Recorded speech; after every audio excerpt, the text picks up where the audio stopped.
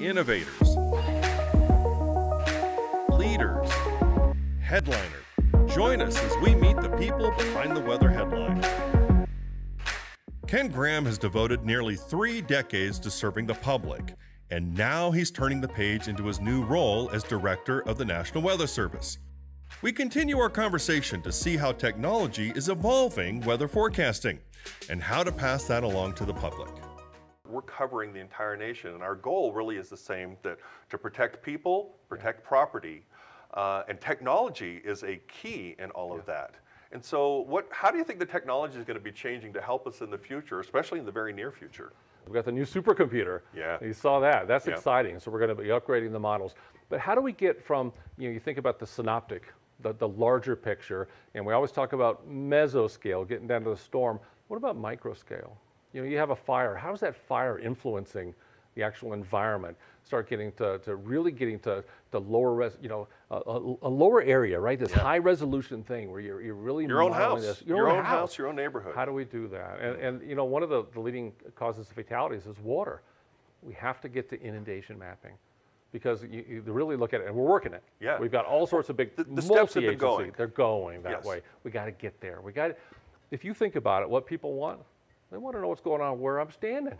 Everybody wants that. That's what they want. That's where we got to go. We got to figure that out and do it in a way with social science because a perfect forecast is fine and dandy, but unless it's understood and actionable, it doesn't do much good. Right. Now, you mentioned the supercomputer.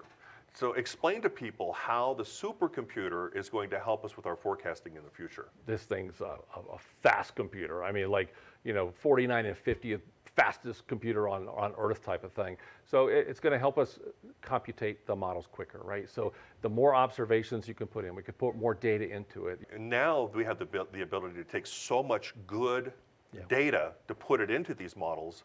It means the, the information is coming out better. And we're seeing that with forecasts for hurricane cones becoming smaller, meaning the error is, is starting to drop more. And we're also getting more confidence in the longer range of the forecast. So, talk about that part. Well, data is everything going in, and there's so much data that, that we still need to collect, oceans especially. We need more information over the oceans, and it's not just above the surface, it's the depth of that heat, the, whole, the total heat content of, of the ocean getting down to the models. Here's a good example. So the hurricane hunters, incredibly important to us, both at NOAA and the Air Force. And the data that we get from the hurricane hunters can make the models anywhere from 10 to 15% better in track. Listen to this. We've cut the error and intensity in half in the last three years.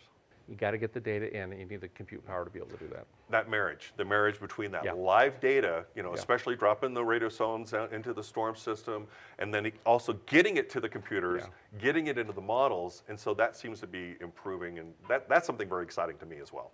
Meteorologists getting better data is critical to bringing more accurate information to the public. But what's also important is where you go to get information, especially when you're facing serious impacts. I think that that is as vital as your plan That's right. is who do you trust to get information from? Why do you think we've been so aggressive in the Weather Service and even the Hurricane Center, even personally, Right. getting information out, social media, hundreds of interviews with you all mm-hmm. over the last four years or so. It's, it's, it's because we got to be on one page. And, and all the social science studies are very clear. If people get a mixed message, multiple messages, it impacts their decision making. They either won't make a decision, they'll freeze up, or, or potentially make the wrong decisions, but more often, no decision. We got to be on one page. And that's why we got to be so aggressive and together, share each other's information. And I think, my opinion, 28 years of doing this, I think we've never been this close. I, th- I think I've never seen our community as a weather enterprise, I think is the, the best term, come together like, like we, we are now. And I think it's important because I think together we are saving lives. The downside of all that, though, is that we're also competing against maybe some not as reliable sources or people who are downright just trying to stir things up. Yeah. Um, so, how do we overcome that? Because that to me is one of the biggest detriments we have. We're in the middle of a hurricane and we have somebody putting out absolute false information Yeah, on yeah. purpose. That's Yeah. not, it's not our good people, it's the people on the other side. How do we combat that? I think people just got to realize not everything that they see is, is correct on the internet. There's, there's, you can put it whatever you want out there. Follow your trusted source. Your, your media, I, I- I just tell everybody, we're all together behind the scenes. Right. Your favorite media outlet, us at the Weather Service, all around NOAA, your emergency managers, your, your city and state officials, we're all together. We're briefing them as Right. part of our impact-based decision support. We're briefing the emergency managers. Those evacuation decisions, not evacuate, to evacuate, it's all based on science. It's, Right. It's interesting if you really look at it, it's based on science. Those are your sources, your main sources. And the other part we got to talk about too is, you know, look, my mom gets information a certain way, I get information a certain way, Yep. but I watch where my, my kids get information, it's different. And, and it, they're, they're not going to sit through quite the length of information. They want it quicker, they want it on their phone, they want it through social media, and, and all of us adapting to, to get that information out for the equitability to make sure we get equal chance for everyone to get that information, got to adapt. How do you take something that is extremely complicated and very scientific Yeah. and make it meaningful to everybody? That's, that's the whole premise behind our impact-based decision support. And, and that's getting to those emergency managers. Those are, the, you know, the elected officials, emergency managers, tough decisions. Think about it. Uh, evacuate a hospital, evacuate a city. A million people. And you know what we never talk about? The decision not to evacuate is a, a decision. It's hard. It's a tough, it's a tough call. So tough call. So we're there. We're interpreting that information. You take all this complex information and saying this what it really means. Hey Ken, what do you really think? How many times you get that sort of thing?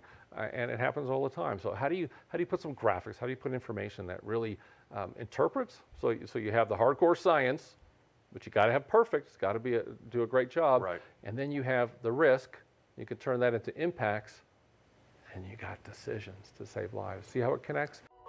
Join us next time as Ken talks about knowing your risk. If you arm yourself with a plan, arm yourself with information, it's amazing how that'll keep you calm.